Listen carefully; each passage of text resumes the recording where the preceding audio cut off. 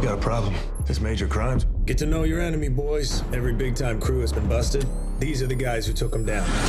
The cops who are chasing us are very crooked. They use techniques that are not savory. Sit down. As regulators, he handpicked each one of them on the basis of their brutality. That's what this movie's about, is blurring the lines between the criminals and the good guys. Do we look like the types who'll arrest you?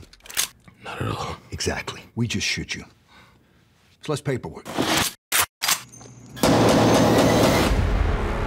We're trading up. We have the ultimate plan to rob the Bank of Banks, the Los Angeles Federal Reserve. If you try to take the Fed, you wouldn't even get two steps in the building.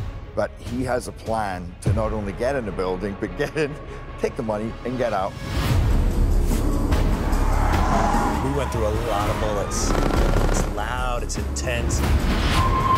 It's madness. My sick.